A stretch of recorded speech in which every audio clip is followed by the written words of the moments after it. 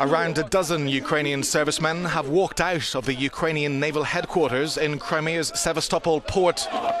This comes after the base was taken over by pro-Russian forces, according to witnesses.